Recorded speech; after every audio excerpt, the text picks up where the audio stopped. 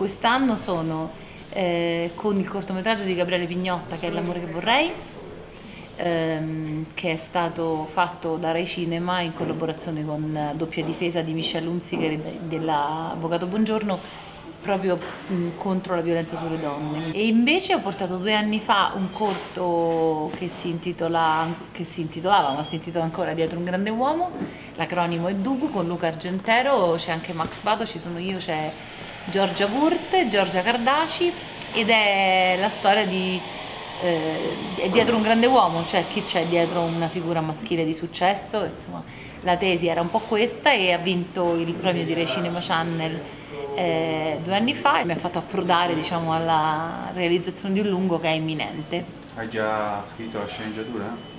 Scritta e venduta. Max, a fianco, dietro ad ogni donna, a fianco di ogni donna. C'è sempre un uomo che ha molta pazienza, eh, perché questa poi è la tesi finale, no? cioè dietro ogni grande uomo c'è una grande donna, ma l'uomo ha sempre una pazienza infinita che è la fine che le donne non dicono mai, quello che le donne non dicono. Trovo che sia un ottimo completamento perché siamo anche molto diversi, per cui certi pensieri che io non li ha lei e viceversa ovviamente, per cui riusciamo a completarci anche sui punti di vista. L'incontro e a volte anche lo scontro, perché voglio dire nessuno pretende di far trapelare la notizia che noi non li diamo mai, cioè certe volte ci discutiamo anche su delle cose molto importanti, ma per crescere soprattutto lavorativamente, che è una cosa che ci interessa molto. Io ripongo molta fiducia nelle web series, nel senso che non si può ignorare il formato web.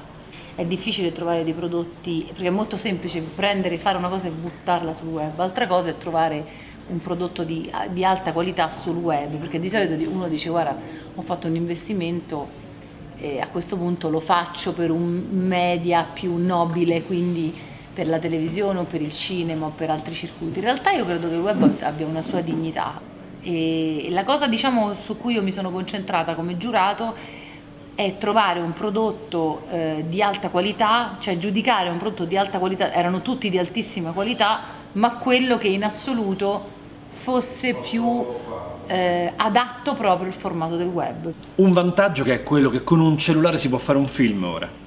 C'è uno svantaggio è che non tutti sono capaci di fare un film. Sì, ci vuole l'investimento sicuramente dietro, un investimento di energia, un investimento di mezzi, per cui secondo me quello anche fa la differenza.